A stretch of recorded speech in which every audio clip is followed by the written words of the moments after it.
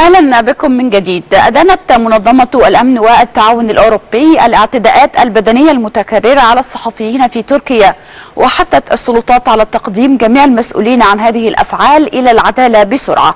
وذكر بيان للمنظمة الأوروبية أن ممثل منظمة الأمن والتعاون الأوروبي ألمعني بحرية الإعلام أكد قلقه بشأن سلامة الصحفيين في تركيا لافتا إلى أن هذا هو الهجوم البدني الثاني في أسبوع واحد ما يعد إشارة واضحة إلى أن الصحفيين بحاجة إلى حماية أقوى في تركيا.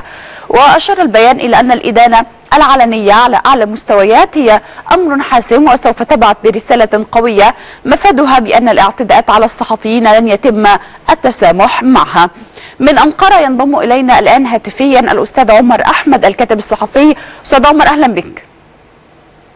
تحياتنا لكم صباح الخير. أهمية هذه الإدانة فيما يخص إدانة منظمة الأمن والتعاون الأوروبي فيما يخص حقوق الصحفيين الذين يتعرضوا إلى انتهاكات في تركيا.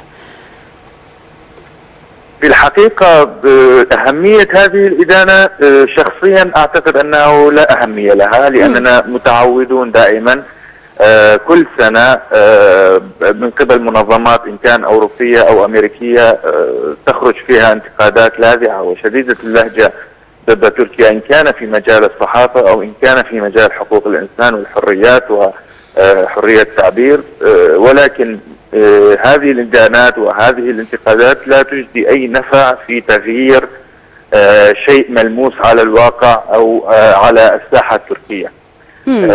في تركيا في تركيا نحن يعني نشاهد كما تقول المعارضة أيضا أن الحكومة التركية تقسم المجتمع بين مؤيد ومعارض. إن كنت صحفي مؤيد فأهلا وسهلا بك. يمكنك العمل ويمكنك أن تفعل ما تريد. يمكنك أن يعني تحصل على امتيازات. لا يمكن للمعارض أن يحصل عليها. إن كان الصحفي معارض فهو يواجه صعوبات كبيرة يواجه ضغوط شديدة. أي تحرك أو أي حركة منه قد قد يحظى باتهام مباشر بالتجسس أو اتهام بكشف معلومات يعني تخص الدولة أو معلومات مهمة ينال على إثرها محاكمة وربما سجن وغيرها من هذه الأمور. هناك حقيقة يعني ضغوطات يتعرض لها الصحفي وبشكل عام الإنسان المعارض ل حكومة العدالة والتنمية. المعارض يواجه الضغوط يواجه يعني كل أنواع ال ال يعني الأبعاد الإبعاد من المجتمع الإبعاد من المشاركة في طبعا الحياة اليومية في تركيا. كل هذه الأمور مقسومة في تركيا بين مؤيد ومعارض. لذلك المعارضة التركية تشدد خصوصا في هذه الأيام على موضوع لم الشمل التركي بين مؤيد ومعارض إنهاء حالة الاستقطاب الشديدة. وكثير من المحللين السياسيين يرون في فوز أكرم إماموغلو في بلدية إسطنبول. طبعا انتخابات تم إعادتها. سوف يتم إعادتها. يجدون في يعني سبب فوزه هو اللغة الجامعة التي استخدمها. عدم تفريقه بين مؤيد ومعارض. شكره للمؤيد قبل المعارض في يعني بين أطياف الشعب التركي.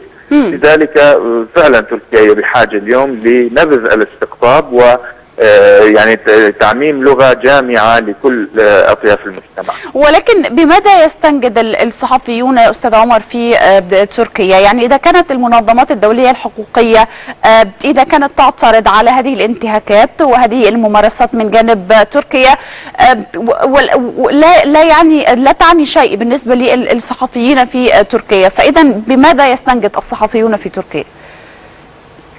بلا شيء يعني للأسف الشديد آه هناك أمثلة كثيرة يمكنني أن أطرحها ابتداء من نفسي وانتهاء بالكثير من الزملاء التي الذين أعرفهم شخصيا يعني آه الصحفي في في تركيا آه إن لم يكن يعمل لمجال لقناة أو لوسيلة إعلامية مؤيدة لتركيا فعمله سيكون صعب جدا جدا وقد يكون بلا عمل أيضا. آه هذا شيء واضح وموجود في تركيا حاليا. آه، شخصيا أنا تلقيت كثير من العروض آه، بالعمل في وسائل الإعلام ولكن هذه الوسائل تتسم بأنها لا تؤيد على الأقل، لا أقول أنها معارضة للحكومة التركية ولكن لا تؤيد السياسة التركيه فواجهت كثير من ال- الضغوطات ويعني الأمور التي أعاقت عملية عملي لهذه الوسائل، لذلك الصحفي المعارض أو لا أقول الصحفي المعارض حقيقة، الصحفي الذي لا يؤيد كل ما تفعله تركيا، الذي لا ي- يعني يصفق لكل السياسات التي تتبعها تركيا آه، يق- يقوم بانتقاد تركيا في بعض آه، سياساتها آه، قد يواجه صعوبات و آه، يعني آه، أفعال تؤدي آه، آه، عمله الصحفي أو ربما آه، إنهاء آه، وجوده أو إقامته في تركيا إن كان اجنبيا أو إن كان آه، تركيا الجنسية يمكن أن يحط فيه ال- الأمر في السجن. آه، يعني الكثير من ال- الأمثلة موجودة آه، على هذا ال- الأمر آه، لذلك آه، أعتقد أنني يمكن أن أواجه بعض المشاكل بعد هذه المداخلة أيضا.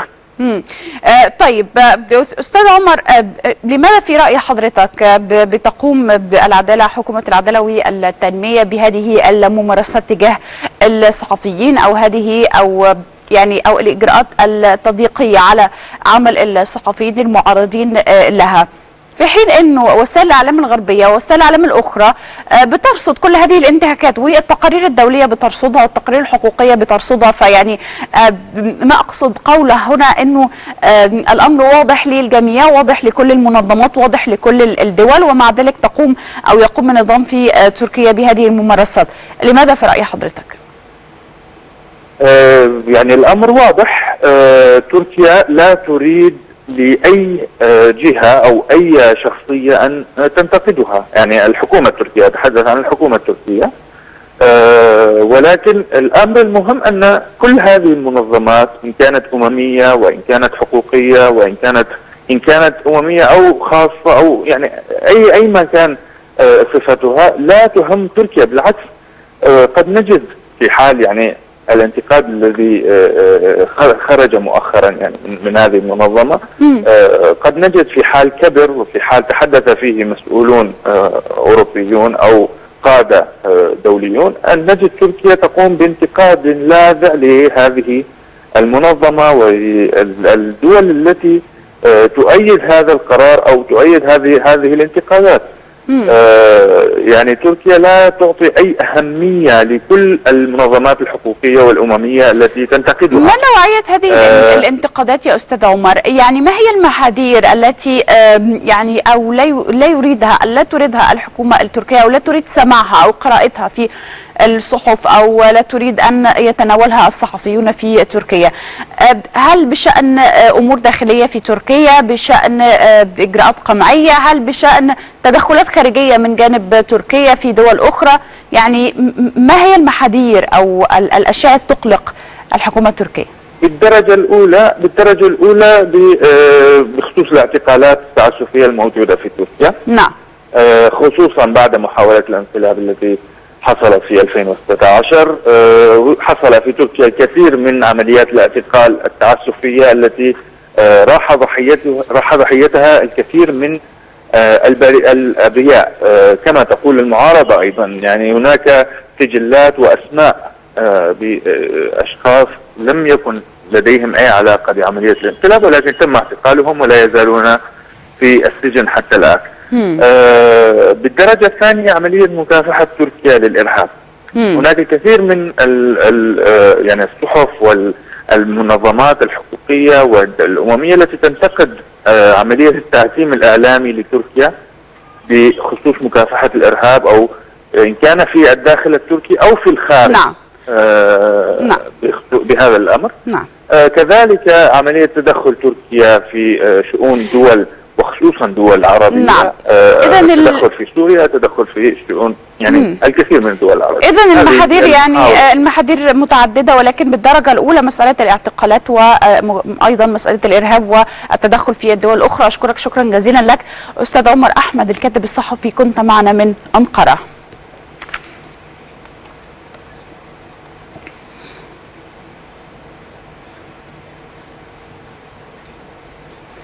وفي تركيا أيضا عبر الرئيس التركي رجب طيب أردوغان من جديد عن امتعاضه من الخسارة الكبيرة التي مني بها حزبه في الانتخابات البلدية في اسطنبول. للمزيد من التفاصيل ينضم إلينا الآن عبر الهاتف دكتور أشرف سنجر أستاذ العلوم السياسية وعضو المجلس المصري للشؤون الخارجية. دكتور أشرف أهلا بحضرتك.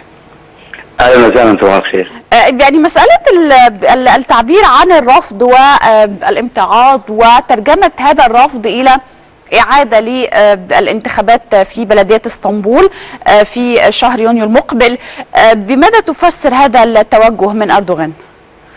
ده تأكيد على عدم الرشد والعقلانية عدم العقلانية العقلانية اللي بيتمتع بها أردوغان للأسف في الفترة الأخيرة منذ 31 مارس لما فقد انتخابات إسطنبول طبعا أردوغان في تحليل مهم نزل في نيويورك تايمز يعطي تصورا مهما عن معضلة أردوغان الداخلية والخارجية. أنا اللي حبيت ألخصها في هذا الأمر تؤكد صحيفة نيويورك تايمز لأن الوضع الاقتصادي يزداد سوءا بعد إعلانه عن إعادة الانتخابات مرة أخرى.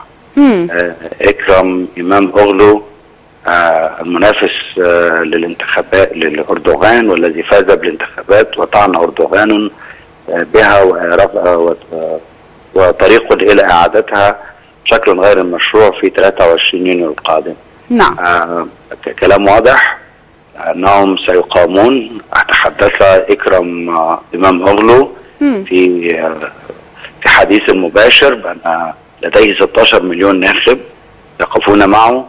رغم أن الدولة التركية أو الحكومة التركية والإعلام كان ضده ومع ذلك قد كسب الانتخابات. ده أمر مم. خطير جدا يؤثر على الاقتصاد.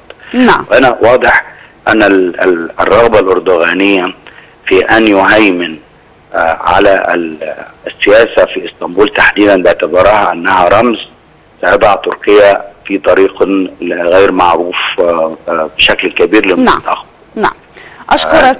أشكرك شكرا جزيلا لك دكتور أشرف سنجر أستاذ العلوم السياسية وعضو المجلس المصري للشؤون الخارجية.